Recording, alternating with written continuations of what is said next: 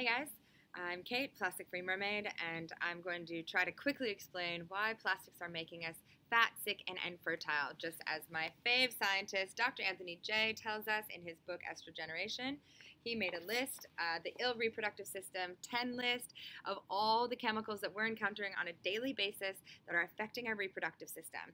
They're known as estrogenics. They mimic estrogen in our body. So plastics are on that list twice. Main ingredient plastics like bisphenol, so this is BPA that you've all heard of. Everything that was lined with BPA or made for BPA was usually quickly replaced with other bisphenols. Pretty much the same plastic uh, that has the same negative health impacts on humans. And also phthalates, another kind of plastic. This is a plastic additive, so it's added to the main ingredients to make plastic fancier, more malleable or durable or transparent or weather resistant. Um, it gives plastic these sort of different characteristics. So both of these plastics are on Dr. Jay's top 10 list.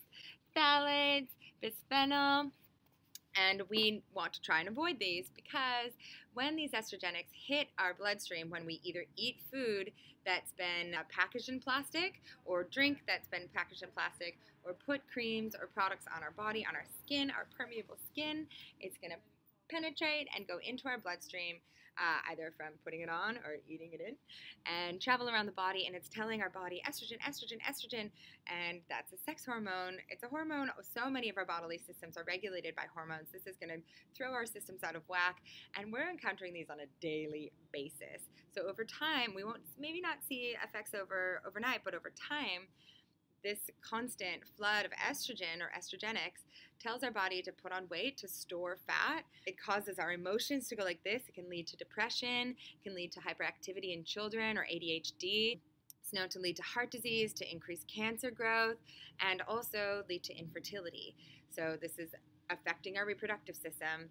And uh, all of this cellular chemistry is uh, altering our, our genes. So we actually pass these changes that go on in our body onto our, our, our offspring we're able to have offspring. So big, heavy stuff. Ways that you can avoid plastics. I have a million. Follow me on Instagram, Plastic Free Mermaid. Check out my website. I Quit Plastics for my course, How to Live Plastic Free. But also just avoid putting avoid buying food that's packaged in plastic avoid drinks that are packaged in plastic avoid products like face creams that are packaged in plastics safe materials to use glass, metal, cardboard. Um, you don't want things packaged in plastic. Plastic is going to leach these estrogen chemicals in three instances. If it's holding something hot, you know, if you pour hot coffee into a plastic cup, it's going to leach. If the temperature outside is hot and you have your, your water bottle, your plastic water bottle in the heat, it's going to leach chemicals. Um, if your if your sun cream or your face cream, your anti-aging face cream, if you're in a hot climate and that's hot, going to leach plastic into, or estrogenics into your creams.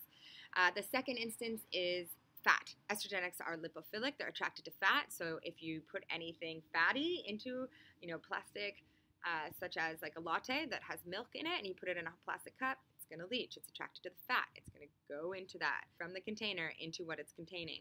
If you put greasy food, greasy takeaway into a plastic Tupperware, it's full of oil. The plastic estrogenics are going to leach into your takeaway food. Same as with your products. If any oil based or, or any of the creams have any fat content in them and you're spreading them on your skin, the plastic container has leached into your cream. And the third instance when plastics leach is duration. So if something's been sitting on the shelf for years, you know, some of those almond milks or nut milks that are packaged in the Tetra Paks, these are those cardboard with the plastic lid, it's totally lined with plastic. If it's sitting there for a year or months, the plastic is going to leach into that beverage. Cosmetics, personal care products that are on the shelves for years, plastics are leaching.